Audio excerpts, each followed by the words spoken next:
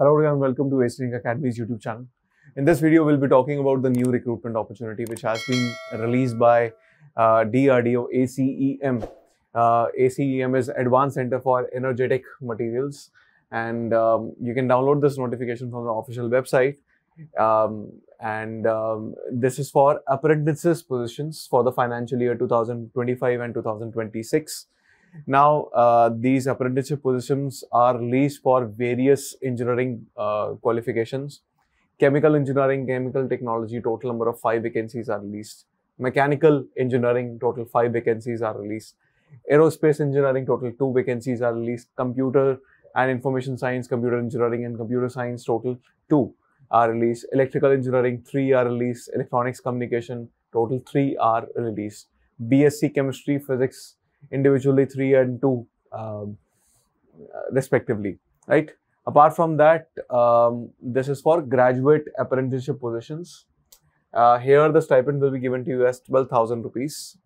And uh, for technician apprenticeship positions, diploma students, uh, mechanical, chemical, electrical, electronics and computer science engineering are released.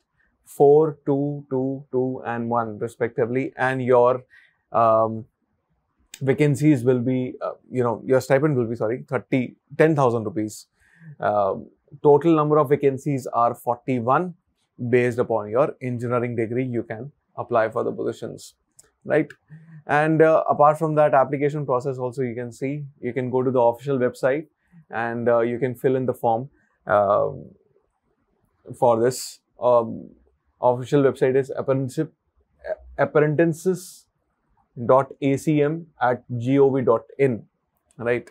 And uh, you are required to fill the application form by typing uh, and you need to affix your passport size photograph and sign the application form and scanned copies are to be sent through email uh, on particular email id so this is your email id not official website. Also it is mandatory to fill the form application application form on below mentioned google form link uh, which is mentioned. So Google Form link is also mentioned and last date of receipt of application is 15th of June 2025. So last date is 15th of June 2025 and uh, keep this in mind. All correspondence with co candidates shall be done through email only. Don't send any hard copy of application. So you are not required to send any hard copy of application.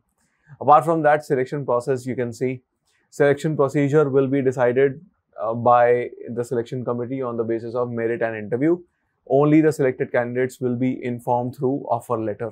So you'll be sent offer letter corresponding to uh, the requirements, right?